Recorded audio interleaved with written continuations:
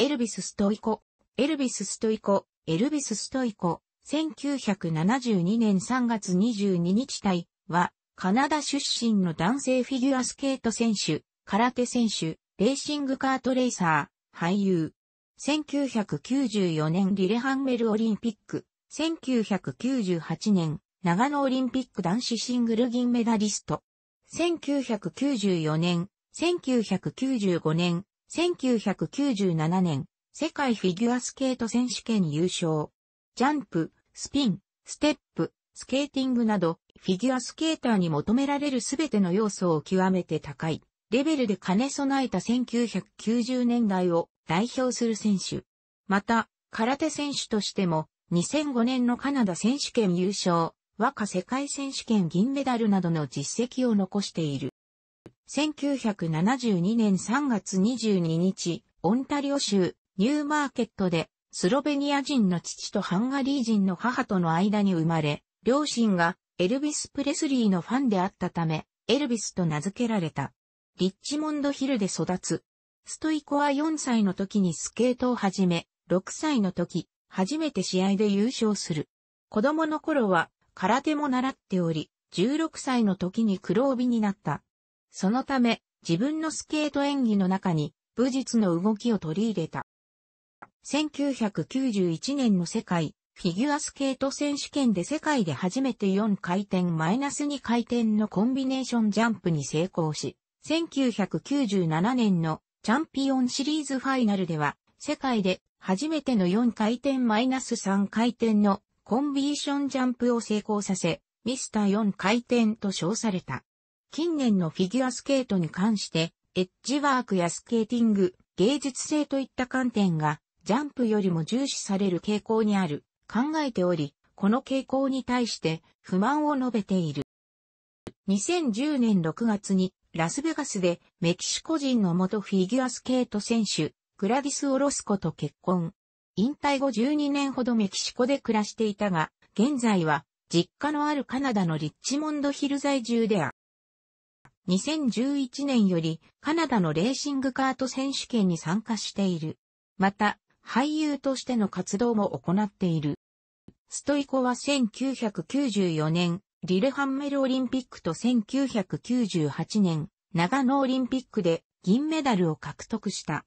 1994年、1995年、1997年の世界フィギュアスケート選手権でも優勝し、また、1994年、1996年、1997年、1998年、1999年、2000年、2002年のカナダ選手権も優勝した2001年は不出場だった。1995年のカナダ選手権では彼は足首に深刻な怪我を負ったが、競技を強行した。ショートプログラムの演技を始めたが、怪我のため最後まで滑り切ることはできなかった。しかし彼に1995年の世界選手権へ出場権が与えられた。1995年の世界選手権での滑りは彼の最も印象的な素晴らしい演技の一つと考えられている。彼の怪我は完全には治癒していなかったが、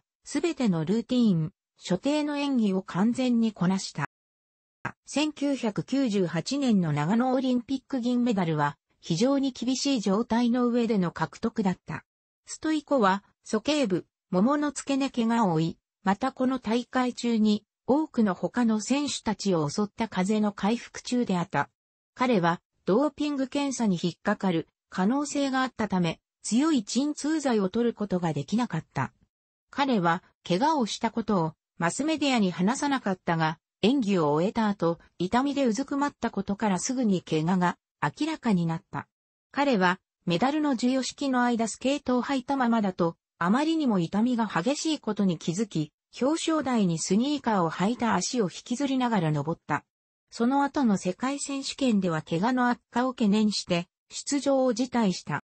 2002年ソルトレークシティオリンピックでは8位に終わった。過去何度も演技してきたショートプログラムライオンでは楽曲に同名のライオン演奏は日本の和太鼓集団として知られることを1998年シーズンの長野オリンピックでも使用を用い、左胸にカタカナで、ライン用、プログラム使用曲、ラインの語気とされる。と書かれた衣装で演技をし、日本でも注目を集めた。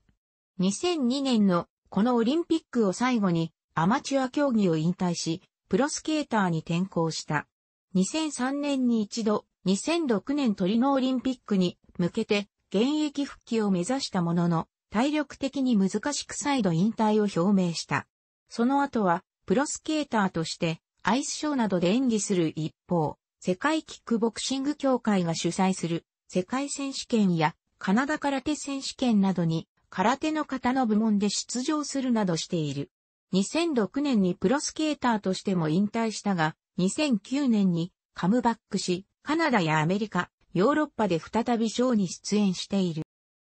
1995年にカナダ総督から功労勲章を、1998年には功労十字章を受勲した。彼の趣味はオフロードバイクに乗ることである。